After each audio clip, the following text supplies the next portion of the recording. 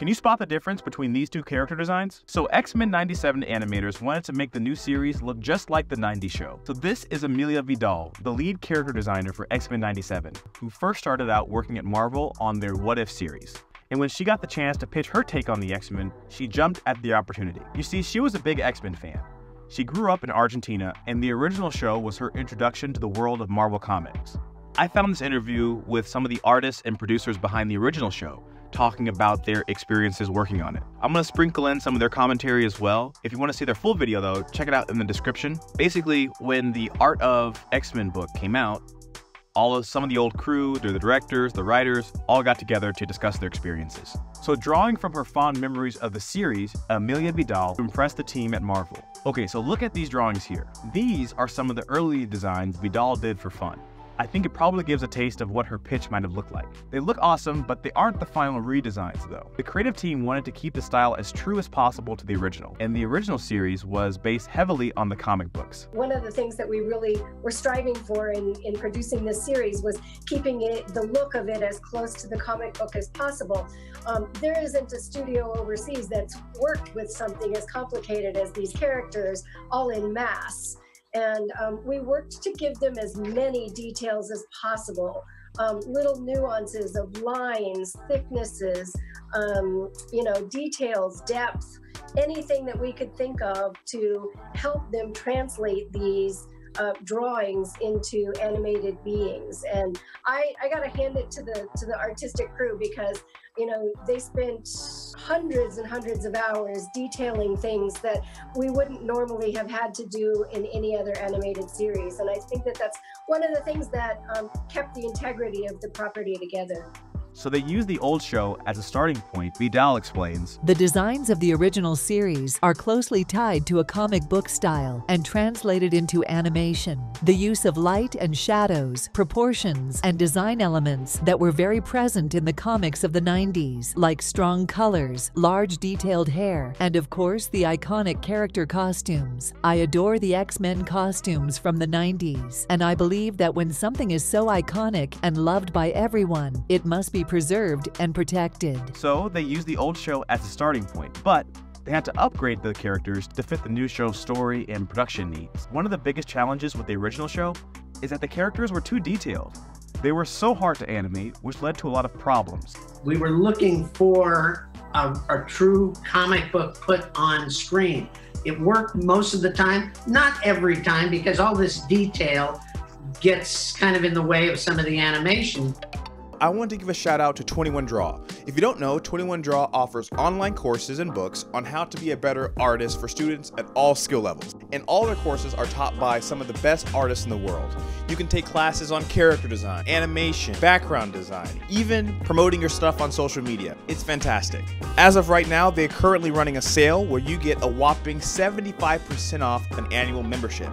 And in an annual membership, you get access to all 35 plus courses, almost 900 lessons, and they're adding new courses every single month. So check out 21 Draw with the link below to help support the channel. So as you can see, this was a ton of work for the animators.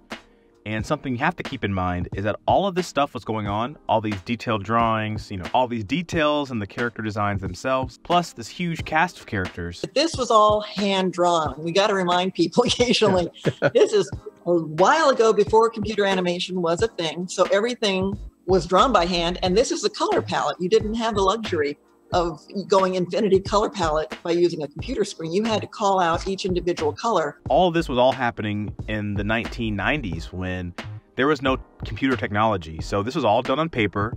It was all done by hand, which makes everything even more impressive if you ask me.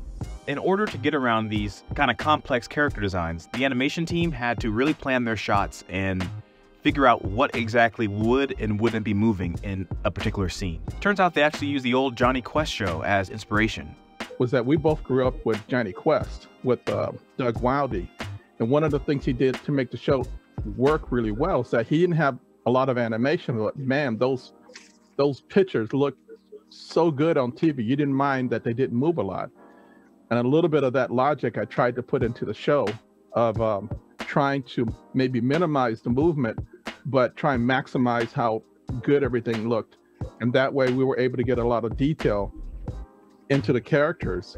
You know, like like the guy Sinister, who's got he's got lines all over the place. Mm. He's got this rooster tail rooster tail cape, and um, I wanted to keep all the detail, but I didn't want him to move. So I, I, I, I would revise the storyboard to make more like Dracula, like coming in and out of the black like this. And also, when he talked, you cut to someone else talking. When you cut back to him, he's over there. Or then when you cut back to him, he's over there. And then when he has this maniac, maniacal laugh, it would just, you know, go back into black. And so there were things like that that I tried to. I was inspired by, you know, the Doug Wildey approach to making the shows look good, to try and maximize our budget, and still make the make the show look like a uh, a living comic book. Here are the original designs, and here are the new ones. Vidal wanted to simplify the characters to help the animation process, but ran into another problem. If you simplify the characters too much, they lose their iconic look. As she explains it, From the beginning, I knew it was a 2D show, and I designed with that set in mind. In 2D, the more simplified the design, the easier it would be to animate. But due to its closeness to the original show and comics origin, simplifying them too much was not an option because I wanted them to maintain the design spirit of the original. I wanted them to work well in animation as best as possible while keeping the same outfits, making them look anatomically correct with their complex hairstyle like the original show. To preserve all of that, we organized a set of good practices on how to draw anatomy and to organize the hair into a number of large masses and small hairlines inside, stressing shapes to give volume in certain ways. Fabrics were addressed too.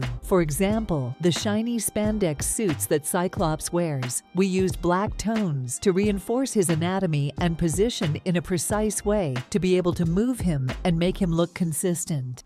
a lot of times in animation, the little details go a long way. When redesigning the characters for X Men 97, Amelia Vidal wanted to impress X Men fans like herself. So then she had to ask herself these important questions like, what can I add to the design so the characters look cool and move good? Or what can we add or remove? What can we keep and protect? What can we do to make a real upgrade? So I was too young to watch the original series, but researching both the new show and the old show has been super fun. If you want to see more character design videos, check out this one. We learn the inspiration behind one of Disney Animation's best character designs. So Disney tries to make sure that all their movies look different.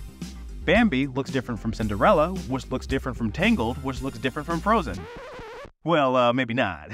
anyway, Hercules is really special because it's based on ancient Greece. Check that out, and I'll see you guys in the next video.